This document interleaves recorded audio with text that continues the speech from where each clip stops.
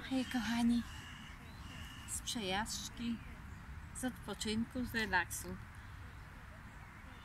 Nie wiem co słychać w świecie, nie wiem co słychać w Polsce, nie wiem co się wydarza. Tu ostatnio ktoś mi na Facebooku powiedział, bo rozmawiałam z tą osobą, że jakieś tam są y, przebąkiwania, że trzeba gromadzić jedzenie, że coś ma się wydarzyć, ale to dopiero chyba za rok, czy kiedyś, nie wiem dokładnie, nie chcę tu pomieszać faktów. A ja co na to? E, kochani, o, o tym gromadzeniu picia, jedzenia to ja już kiedyś słyszałam, też mi jedna osoba ponad 20 lat gdzieś mówiła. Już trzeba wodę gromadzić, już coś trzeba gromadzić. Co ja na to? Słucham swojej intuicji. I jak to ja mówię, jak zacznie się coś dziać, to będziemy widzieć. Staniemy jutro jakieś zamieszanie, jakieś wykupywanie, ludzie będą e, coś szaleć, coś panikować. No na razie nie ma żadnej paniki. To po co ja mam to gromadzić, ja się pytam. No kto chce, e, czuje się tak bezpieczniej, e, można powiedzieć, będzie spał spokojnie, to ja nie mam nic przeciwko. Ale ja, jak to zawsze mówię, ja słucham swojej intuicji. Już dosyć tych przepowiedni, dosyć tych rzeczy.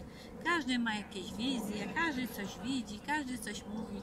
Pamiętacie te bunkry, że ludzie budowali jakieś tam bunkry, coś pod ziemią sobie, bo, bo już coś ma być, nie było.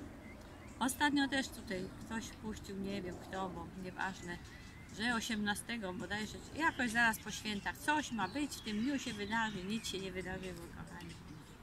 Więc Jakbyśmy tak słuchali, co się ma wydarzyć, to byśmy zwariowali i nie zmrużyli oka, nie zasnęli spokojnie w nocy. Więc ja uważam tak, co się ma wydarzyć i tak się wydarzy. Co ma mnie spotkać i tak mnie spotka. Bo ja tak uważam, że jakoś tak jest w tym świecie, że co ja sobie przyciągnę, co ja sobie e, wymarzę, co ja sobie zwizualizuję, to jest moje. Ale tak sobie ja myślę, że gdzieś po drodze mam jakiś też taki ułożony plan, grafik w życiu, jakąś trasę. I ja mam się tam pojawić i to ma się wydarzyć, niezależnie od tego, czy ja to chcę, czy ja tego nie chcę, czy ja to przyciągnęłam, czy ja to wymyśliłam, czy ja nawet o tym nie pomyślałam. Ale mi się wydaje, że jak to się po pojawi, to wtedy ja decyduję, co ja z tym zrobię. Czy ja spanikuję, czy ja e, będę żyła w strachu, w lęku, czy w nadziei, czy e, będę szukać rozwiązań, co z tym fantem z, zrobię, zależy ode mnie. I ja tego się trzymam.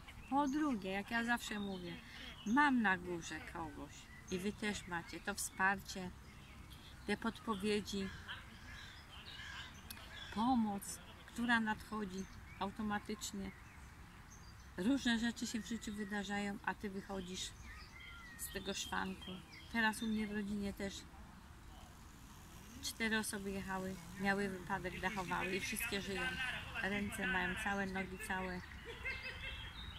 Praktycznie można powiedzieć, nikomu się aż takiego nic nie stało. A gdyby miało być inaczej, być może już by nie było kogoś z tych osób. Więc ja w to bardzo wierzę. Wydarza Ci się coś po coś, po co? Żebyśmy zwrócili na coś uwagę, żebyśmy zmienili coś w swoim życiu. I pojawiają nam się rzeczy bardzo dobre i te bardzo złe i te, co nas e, wprawiają w radość, w euforię, żebyśmy skakali aż pod chmury i to, co nas przytłoczy, usadzi, że siadamy pupą na ziemi i nie ma, mamy siły wstać. I ja zawsze mówię tak, jest to po coś. I co robić wtedy? Nic, nie protestować. Jeżeli fajnego się coś wydarza, po prostu się cieszyć.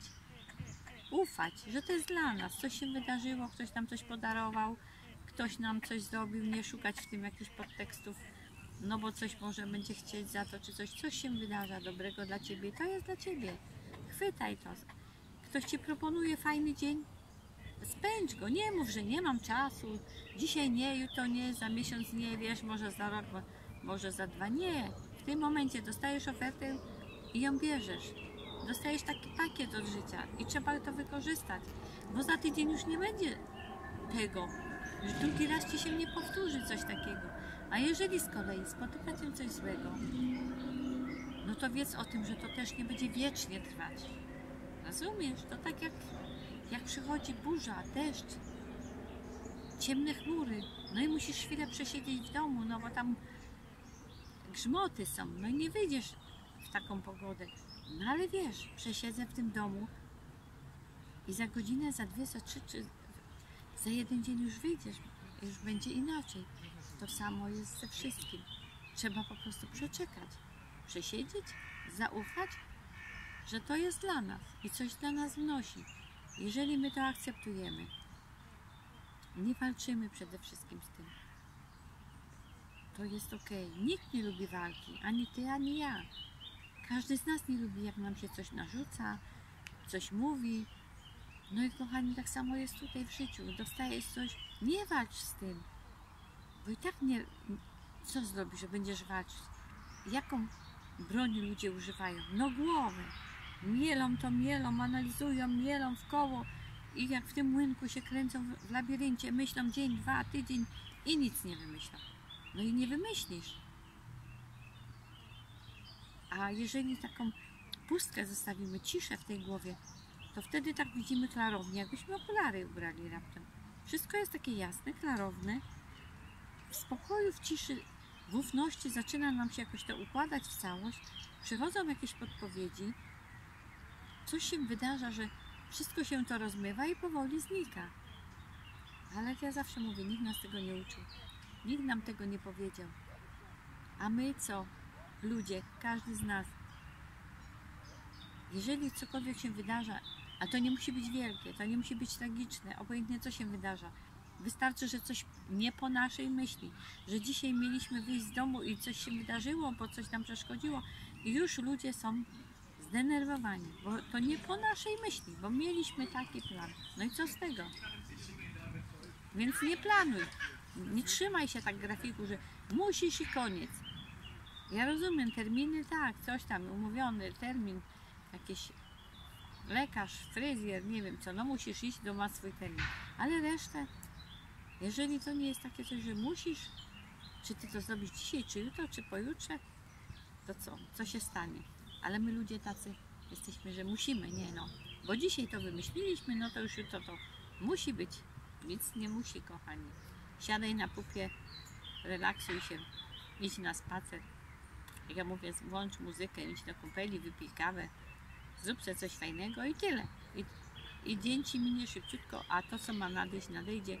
Jutro się obudzisz, zrobisz to, co miałaś zrobić wczoraj i jest super. No nie? Patrz, jakie to jest proste. No to buziaki wam się. Pa, pa. Całuski.